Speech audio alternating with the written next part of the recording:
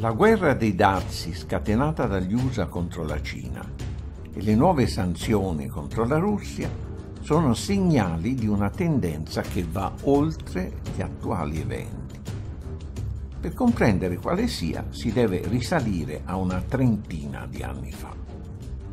Nel 1991 gli Stati Uniti, usciti vincitori dalla guerra fredda e dalla prima guerra del dopoguerra fredda, quella del Golfo, dichiarano di essere rimasti il solo Stato con una forza, una portata e un'influenza in ogni dimensione, politica, economica e militare, realmente globale, e che nel mondo non esiste alcun sostituto alla leadership americana.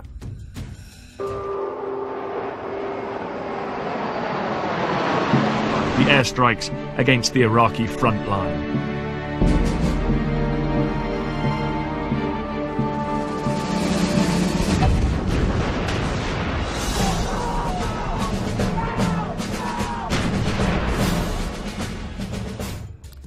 Fidando sull'egemonia del dollaro, sulla portata globale delle proprie multinazionali e dei propri gruppi finanziari, sul controllo delle organizzazioni internazionali, Fondo Monetario Internazionale, Banca Mondiale, Organizzazione Mondiale del Commercio, gli Stati Uniti promuovono il libero commercio e il libero movimento di capitali su scala globale, riducendo o eliminando dazi e regolamenti.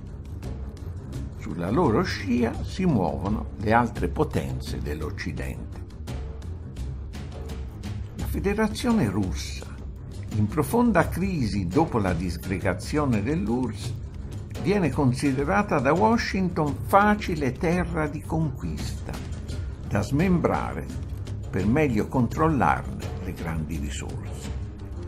La Cina, apertasi all'economia di mercato, appare anch'essa conquistabile con i capitali e i prodotti statunitensi e sfruttabile quale grande serbatoio di manodopera a basso costo. Trent'anni dopo, il sogno americano del dominio incontrastato del mondo è svanito. La Russia, costituito un fronte interno a difesa della sovranità nazionale, ha superato la crisi riacquistando lo status di grande potenza. Государственный флаг Российской Федерации и знамя Победы.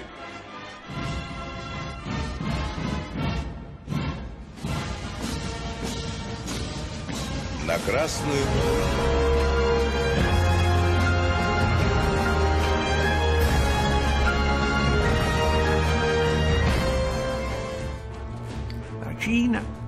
la fabbrica del mondo in cui producono anche multinazionali USA, è divenuta il primo esportatore mondiale di merci ed effettua crescenti investimenti esteri. Oggi sfida la supremazia tecnologica degli Stati Uniti. Il progetto di una nuova via della seta, una rete viaria, ferroviaria e marittima marittima tra Cina ed Europa attraverso 60 paesi pone la Cina all'avanguardia nel processo di globalizzazione, mentre gli Stati Uniti si arroccano erigendo barriere economiche. Washington guarda con crescente preoccupazione alla partnership economica e politica tra Russia e Cina, che sfida la stessa egemonia del dollaro riuscendo a contrastare tale processo solo con strumenti economici, gli Stati Uniti ricorrono a quelli militari. Il colpo di Stato in Ucraina e la conseguente escalation anche nucleare in Europa, lo spostamento strategico in Asia, le guerre in Afghanistan e Siria fanno parte della strategia con cui gli USA e le altre potenze dell'Occidente cercano di mantenere il predominio unipolare in un mondo che sta divenendo multipolare. Tale strategia sta però subendo una serie di scacchi.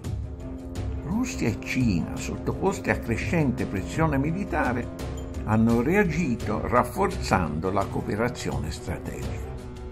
La Russia non solo non è stata messa alle corde, ma con una mossa sorpresa è intervenuta militarmente a sostegno dello Stato siriano, che nei piani USA-NATO avrebbe dovuto fare la stessa fine di quello libico. In Afghanistan USA e NATO sono impantanati in una guerra che dura da oltre 17 anni.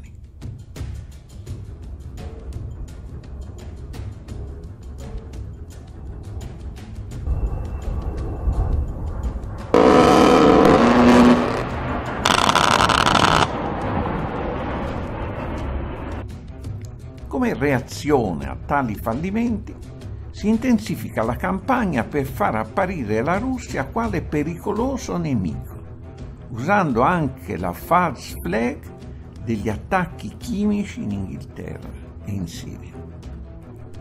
La tecnica è la stessa usata nel 2003, quando per giustificare la guerra contro l'Iraq il segretario di Stato Colin Powell presentò all'ONU le prove che l'Iraq possedeva armi di distruzione di massa.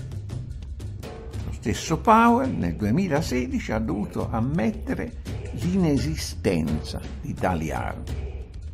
In 15 anni, però, la guerra ha provocato oltre un milione di morti.